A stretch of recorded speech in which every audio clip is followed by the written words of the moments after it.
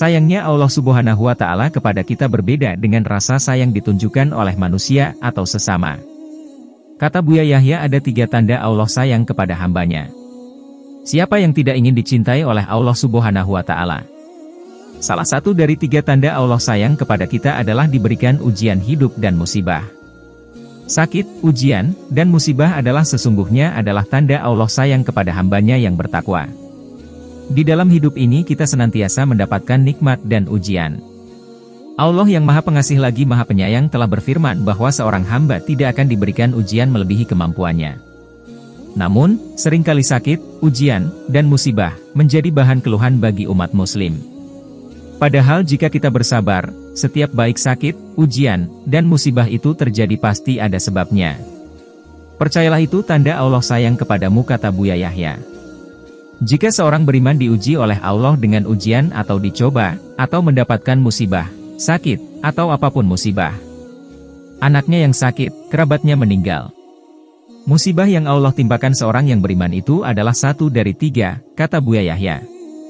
Kata Buya Yahya, ada tanda-tanda yang bisa dibaca kalau Allah mencintai dan menyayangi umatnya di dunia. Dimudahkan untuk berbuat baik. Pertama, tanda jika Allah sayang padamu adalah dimudahkan ketika berbuat baik.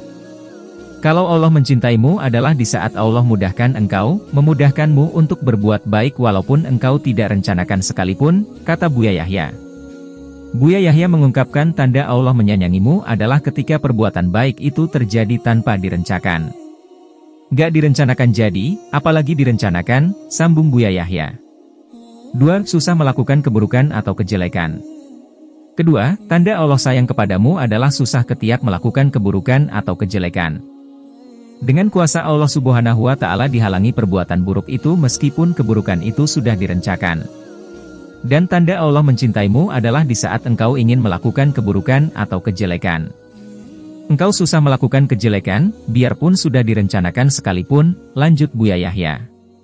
Semakin berat sakit, ujian, dan musibah yang kita alami, maka Allah akan semakin meninggikan derajat kita. Ini ibadahnya soleh, ibadahnya Masya Allah.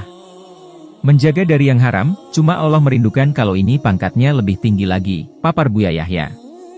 Maka dikasih Allah sakit karena Allah ingin mengangkat derajatnya. Derajat yang tinggi, lanjut Buya Yahya. 3. Bersabar ketika ditimpa musibah. Ketika ditimpa musibah, banyak manusia yang justru mengeluh kepada Allah subhanahu wa ta'ala.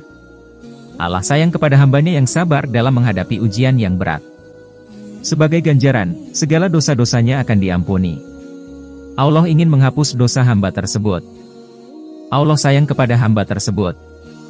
Dilihat banyak dosa, jarang istighfar. Allah timpakan musibah karena Allah ingin membersihkannya dari dosa, kata Buya Yahya. Itulah tadi tiga tanda Allah sayang padamu. Jangan menyerah demi mendapatkan kasih sayang Allah subhanahu wa ta'ala.